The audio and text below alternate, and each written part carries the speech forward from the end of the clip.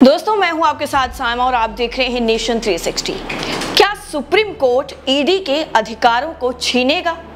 क्या supreme court अपने ही फैसले को बदलने वाला है? इन सभी सवालों के जवाब अब हर किसी को चाहिए। क्योंकि पहले महाराष्ट्र, फिर उसके बाद दिल्ली और बिहार, इन सभी से जो गोल गोल चक्कर ईडी और सीबीआई का चल रहा है, ऐसे में हर कोई ये जानना चाहता है कि क्या वाकई ईडी और सीबीआई को जितने अधिकार मिल गए हैं क्या वो सुप्रीम कोर्ट से ज़्यादा अधिकार हैं? या फिर वो सारे अधिकार जो दिए गए हैं, उसका इस्तेमाल गलत तरीके से हो रहा है? ये कुछ ऐसे चुनिंदा सवाल हैं जो आप सबके जहन में भी ज़रूर उठ रहे होंगे। दरअसल सुप्रीम कोर्ट में चीफ जस्टिस की बेंच क्या मनी लॉन्ड्रिंग कानून में जाँच एजेंसियों को असाधारण अधिकार देने के अपने ही फैसले को पलटेगा, ये सबसे महत्वपूर्ण सवाल है। पीएमएलए केस में सुनवाई करते हुए जस्टिस रिटायर्ड खानविलकर की बेंच ने 27 जुलाई को दिए गए फैसले से ईडी और अन्य जाँच एजेंसियों को असाधारण अधिकार मिल गए थे। यानी अभी आपको याद होगा, कुछ दिन पहले ही जिस तरीके से सुप्रीम कोर्ट ने ईडी की जो है शक्तियों पर इसको लेकर जो सुनवाई की थी, उसके बाद आश्वस्त हो गया था ईडी कि कैसे अब उनको जो है आगे के जो टारगेट है, उनको पूरा करना है। लेकिन कार्ति चिदम्बरम ने इस मामले को सुप्रीम कोर्ट में चुनौती दी है। Chief justice N V Ramana retired होने से पहले इस मामले में महत्वपूर्ण आदेश दे सकते हैं। आपको बता दें, उनकी बेंच में जस्टिस दिनेश माहेश्वरी और सीटी रवि कुमार भी शामिल हैं। इनकी सुनवाई बुधवार को हुई है। जस्टिस खानविलकर की बेंच ने मनी लॉन्ड्रिंग रोकथाम अधिनियम 2002 में प्रवर्तन निदेशालय को दी गई गिरफ्तारी, कुर्की और तलाशी के साथ जब्ती की शक्ति को बरकरार रखा था। इसमें ईडी को तमाम तरह की सख्ती करने की छूट भी दी गई थी और हाल ही में चीफ जस्टिस रमना की अगुवाई वाली बेंच ने उस फैसले को, यानी 27 जुलाई वाले फैसले के बारे में चिंता व्यक्त की थी, क्योंकि ये ईडी को असाधारण परिस्थितियों में मुकदमे से पहले संपत्ति पर कब्जा करने की अनुमति देता है। चीफ जस्टिस ने कहा था कि उक्त निर्णय को पढ़ने के बाद हमारी राय है कि उपरोक्त प्रावधान को एक उपयुक्त मामले में और अधिक विस्तार की आवश्यकता है, जिसके बिना मनमाने ढंग से इसके इस्तेमाल की गुंजाइश बची हुई है। Justice A M Khanwilkar, Dinesh Maheshwari और सिटी रवि कुमार की पीठ ने 27 जुलाई के अपने फैसले में पीएमएलए के प्रावधानों की संवैधानिक वैधता को बरकरार रखा था। इसे अद्वितीय और विशेष कानून कहा गया था और ईडी की जाँच, गिरफ्तारी की शक्तियों को रेखांकित भी किया गया था। कई राजनीतिक दलों ने ईडी को मनमानी पावर देने पर आपत्ति जताई थी। पीएमएलए के कुछ प्रावधानों की वैधता और व्याख्या को चुनौती देने वाली 241 याचिकाओं पर पिछला फैसला आया था। आपको बता दें खानविलकर ने रिटायर्ड होने से महज एक दिन पहले ये फैसला दिया था। 545 पेज के फैसले के विभिन्न प्रावधानों पर ऐतराज उठा था। कई आलोचकों ने तर्क दिया था कि इस फैसले ने ईडी को बेलगाम शक्तियाँ दे दी हैं। अब देखना यह होगा कि जस्टिस रमणा की बेंच अब उस फैसले को पलटती है या उसमें कुछ बदलाव करती है या फिर पूरी तरह निरस्त कर देती है। दरअसल आपको याद होगा कि अभी हाल ही में prevention of money laundering act यानी पीएमएलए के तहत प्रवर्तन निदेशालय यानी ईडी द्वारा की गई गिरफ्तारी, जब्ती और जाँच की प्रक्रिया को चुनौती देने वाली याचिकाओं पर सुप्रीम कोर्ट ने अपना फैसला सुना दिया।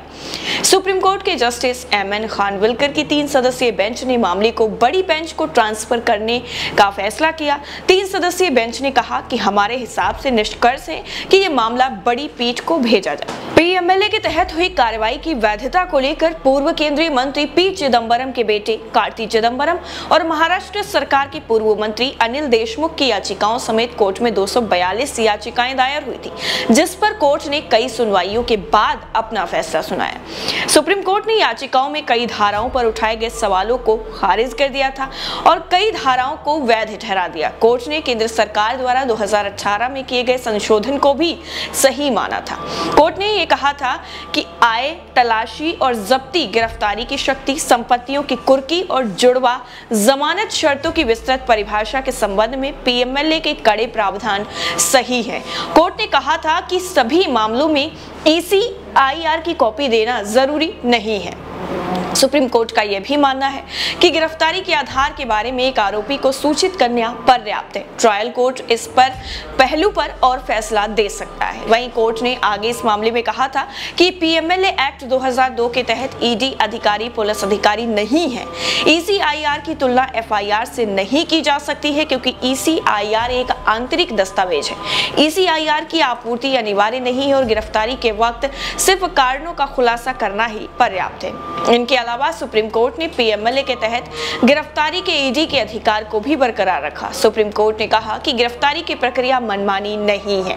सुप्रीम कोर्ट के justice A M Khanwilkar, justice Dinesh Maheshwari और सिटी रवि कुमार की बेंच ने यह फैसला दिया था। याचिकाओं में पीएमएलए के तहत अपराध की आय की तलाशी, गिरफ्तारी बुदादी याचिका में कहा गया था कि ऐसे प्रावधान मौलिक अधिकारों का हनन करते हैं। याचिका में कड़ी जमानत शर्तों, गिरफ्तारी की वजह न बताना ईसीआईआर कॉपी दिए बिना शख्स की गिरफ्तारी मनी लॉन्ड्रिंग की व्यापक परिभाषा और अपराध की आय के साथ जाँच के दौरान आरोपी द्वारा दिए गए बयान ट्रायल में बतौर सबूत मानने जैसे कई पहलुओं पर कानून की आलोचना की गई थी।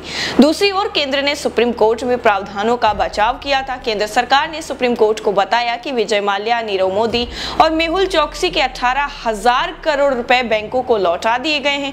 याचिकाकर्ताओं ने तर्क ये भी दिया था कि जाँच एजेंसियाँ प्रभावी रूप से पुलिस शक्तियों का इस्तेमाल करती हैं। इसलिए उन्हें जाँच करते वक्त सीआरपीसी का पालन करने के लिए बाध्य होना चाहिए। क्योंकि ईडी एक पुलिस एजेंसी नहीं है, इसलिए जाँच के दौरान आरोपी द्वारा ईडी को दिए गए बयानों का इस्तेमाल आरोपी के खिलाफ न्यायिक कार्रवाई में किया जा सकता है, जो आरोपी के कानूनी अधिकारों के खिलाफ है। याचिकाकर्ताओं ने यह भी तर्क दिया कि कैसे जाँच शुरू करने, गवाहों या आरोपियों को पूछताछ के लिए बुलाने, बयान दर्ज करने, संपत्ति की कुर्की की प्रक्रिया, स्वतंत्रता के मौलिक अधिकारों का उल्लंघन करती है। हालाँकि मनी लॉन्ड्रिंग के लिए अधिकतम सात साल की सजा है, लेकिन कानून के तहत जमानत हासिल करना बहुत ही ज़्यादा मुश्किल है। अब जिस तरीके से बिहार में ईडी का प्रकोप चल रहा है ईडी और सीबीआई दोनों बिहार में अपनी दिलचस्पी काफ़ी ज़्यादा दिखा रही हैं। ऐसे में सुप्रीम कोर्ट में जो है ये पूरा मामला एक बार फिर से सुनवाई के लिए पहुँच चुका है। वहाँ पर सुनवाइयाँ भी चल रही हैं। लेकिन क्या सबसे बड़ा ये सवाल है जिसका जवाब सुप्रीम कोर्ट के फैसले के बाद आने वाला है कि सुप्रीम कोर्ट अपने ही फैसले को पलटने के लिए पूरी तरीके से तैयार है और अभी तक जितनी भी कार्रवाइयाँ ईडी और सीबीआई के द्वारा की की गई हैं। क्या सुप्रीम कोर्ट का फैसला आने के बाद उन सभी कार्रवाइयों को निरस्त किया जाएगा, उन सभी को रद्द किया जाएगा और जो भी धाराएँ जिन लोगों पर लगाई गई हैं, जिनकी संपत्तियों को जब्त किया गया है, कुर्की की गई है, उन सभी को वो सारी चीज़ें वापस मिलेंगी क्योंकि ईडी की कार्रवाई पर ही सीधा सीधा यहाँ पर सवालिया निशान है। और एक के द्वारा नहीं, सभी के सभी जितनी भी विपक्षी पार्टियाँ हैं, वो इस चीज़ को बिल्कुल गलत बता रही हैं और बता रही हैं कि ये पूरी तरीके से मन मनमानी कार्रवाई है। बिहार में विधानसभा में भी आज यही देखने को मिला, जहाँ पर तेजस्वी यादव ने साफ़ तौर पर कह दिया, जो डरता है उसे डराया जाता है और जो नहीं डरता है उसको जो है खरीद लिया जाता है। डराया कैसे जाता है? ईडी और सीबीआई की जो ये दो चीज़ें हैं, इनको दिखा करके। अगर ऐसा नहीं होता है तो उन्हें खरीद लिया जाता है, लेकिन बिहार में ये मुमकिन नहीं हो पाया, इसीलिए बीजेपी यानी सत्ताधारी पार्टी पूरी तरीके से बौखलाई हुई है। लेकिन सबसे जो है ज़्यादा दिलचस्प देखना यह होगा कि सुप्रीम कोर्ट का जो फैसला है, वो क्या सुप्रीम कोर्ट दोबारा से पलटने वाला है? इस पूरी रिपोर्ट को लेकर आपकी राय क्या है? कमेंट सेक्शन में ज़रूर बताइएगा। बाकी रिपोर्ट अगर अच्छी लगी है तो लाइक, शेयर, कमेंट करना बिल्कुल ना भूलें। बाकी नेशन 360 के साथ बने रहिए। मिलते हैं अगले वीडियो में। जय